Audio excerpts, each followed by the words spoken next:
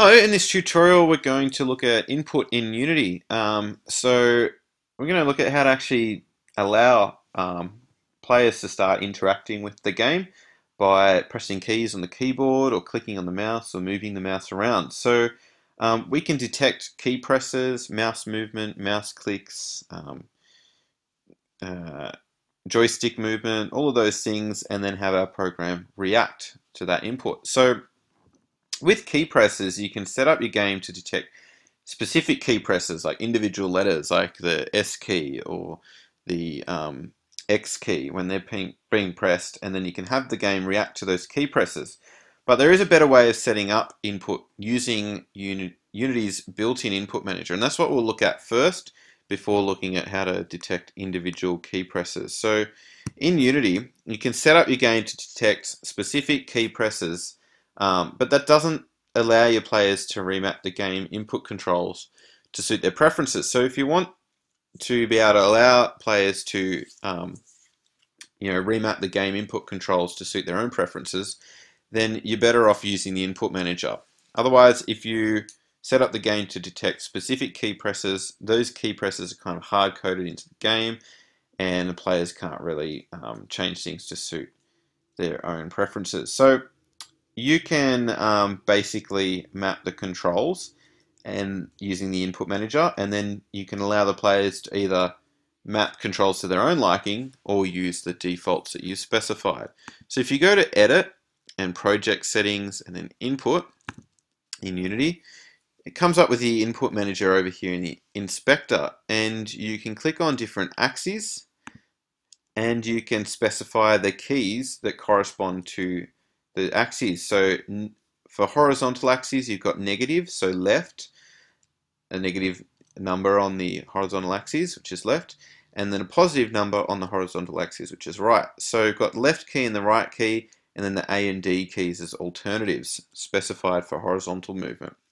So when a um, uh, if you want something to move left, then you press the left or A key. If you want something to move right, then you press the right arrow key or the D key. And there's also vertical um, set up there as well, vertical movement, and there's things like gravity and sensitivity which you can change too. Lots of different options there that you can change. There's defaults in there, so you don't really need to touch it. Okay, now we can use the input manager um, and basically we can set up movement, like moving characters left or right, and they'll always move left or right no matter what um, no matter how your player has remapped the controls. So um, what we can do is go to MonoDevelop and we're going to actually have a look at the values that we receive when different keys are being pressed. So we'll set up two float variables, so float horizontal value. I'm going to use input object and the get axis method. Let's type in horizontal here what this will do is it will get a horizontal value and store it in the um, in this variable called horizontal value.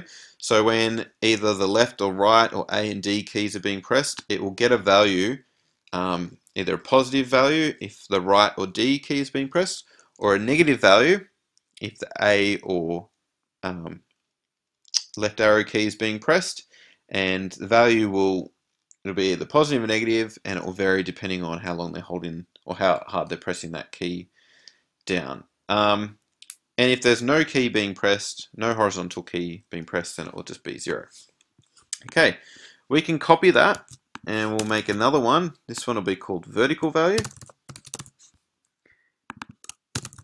And we'll just change that to vertical. So it's going to get vertical movement. Alright, now we can set up a simple little if statement here if horizontal value is not equal to zero,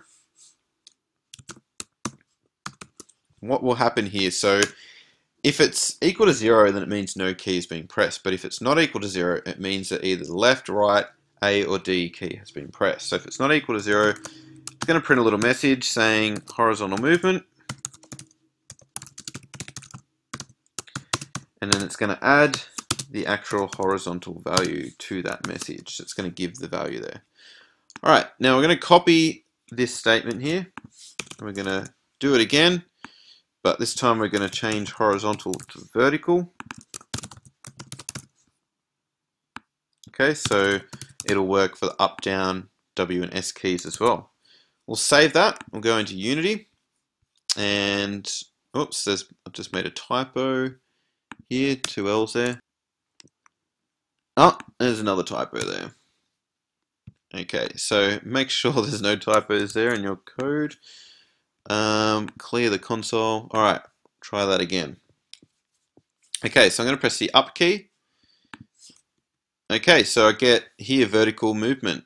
I get um, some small numbers there, but if I hold down the up key, it'll be 1. So it's a positive number. Same with the W key. All right. Now if I hold down down arrow key, it's a negative number. Okay, and the S key as well, it's a negative number.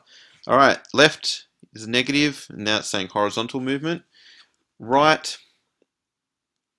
positive number. A is negative for left, and D is positive. Okay, so it's detecting those key presses of the up, down, left, right, WASD keys, and it's um, spitting out the values there next to either vertical movement or horizontal movement.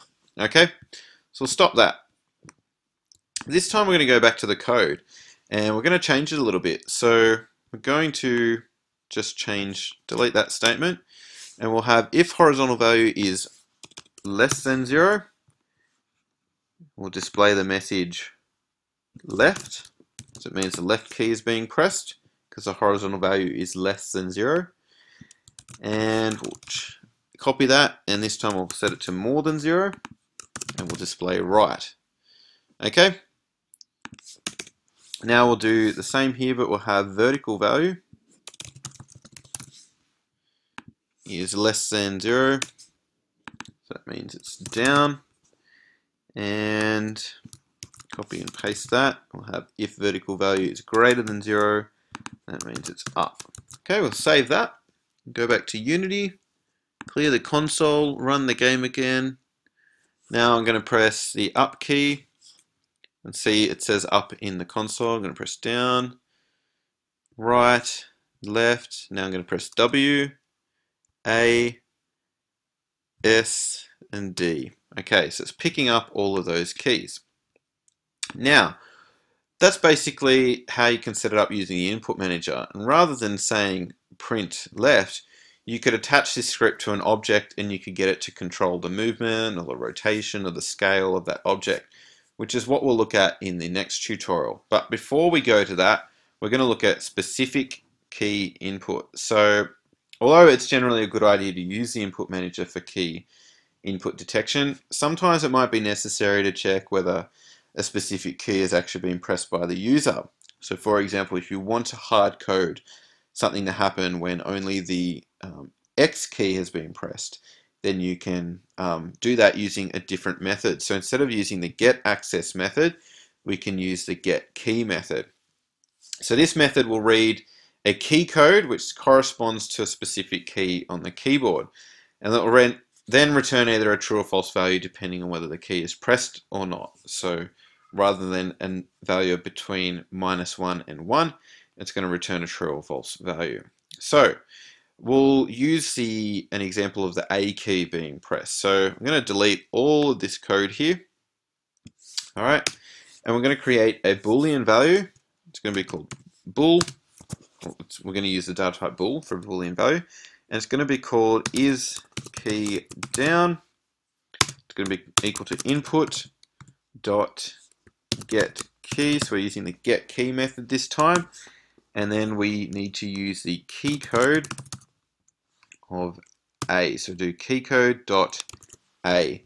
And as you're typing it, you get little suggestions here. So for example, if we wanted the right key, we can start typing right, and then we can see that we've got the right arrow there that we can use if we want to detect right arrow key movement. But we want to detect the A key. Um, so we close that off, those brackets, and then have a little semicolon there. So basically, we place this code inside the update method in a script that's attached to an object inside your game's scene. Um, so right now it's attached to the camera object in the game. Um, so it's going to detect whether the A key is being pressed or not. So um, it's going to be either true or false value. Now what we can actually do is we can have a um, an if statement there. So if we go into Unity, just clear the console.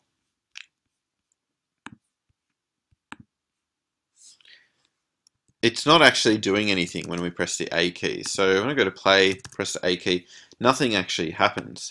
So we need to actually specify um, what's what's going on here. Now we could have something here like print is key down. Save it and then go back to Unity. And what that will do if we play the game, it's just saying false and then when I press A it says true. So it is detecting whether the A key is being pressed or not. But um, what we can also do is instead of having all of this here, we can have something like an if statement. So we can have if input dot get key and then key code. Oops, input dot get key key code dot a. All right um, we can have inside these curly brackets here we can have a message like print you pressed the A key Okay, we can save that and go back to Unity. Clear the console, run the game again.